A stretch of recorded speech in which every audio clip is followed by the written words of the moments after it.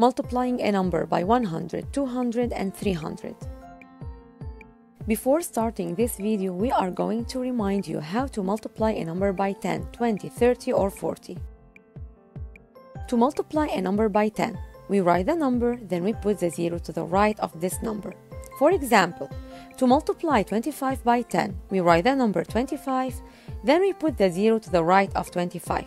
So 25 times 10 equals to 150. To multiply a number by 20, 30, or 40, we multiply the number by 2, 3, or 4. Then we put the 0 to the right of this number. For example, 12 times 20. First, we multiply 12 by 2, which is equal to 24. Then we put the 0 to the right of 24, so 12 times 20 equals to 140.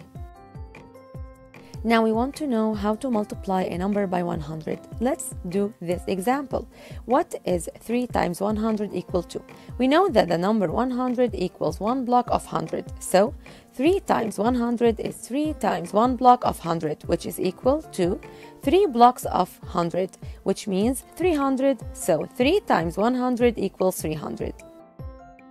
So we notice that when we multiplied 3 by 100, we wrote 3, then we put two zeros to the right of 3.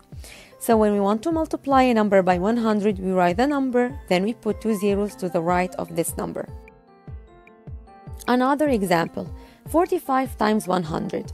To multiply 45 by 100, we write 45, then we put two zeros to the right of 45. So 45 times 100 equals 4500. Now multiply 4 by 200. The number 200 is equal to 2 blocks of hundreds. So 4 times 2 blocks of hundreds equals 8 blocks of hundreds, which is equal to 800.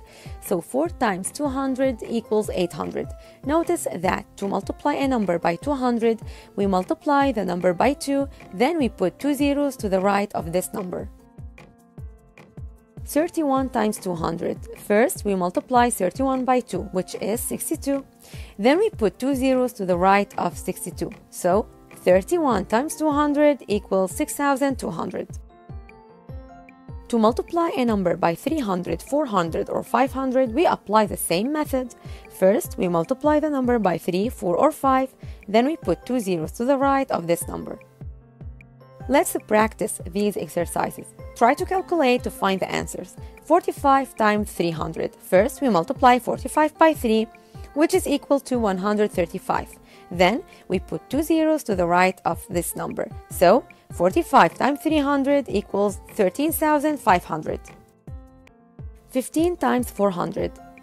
First, we multiply 15 by 4, which is equal to 60. Then we put two zeros to the right, which is 6,000.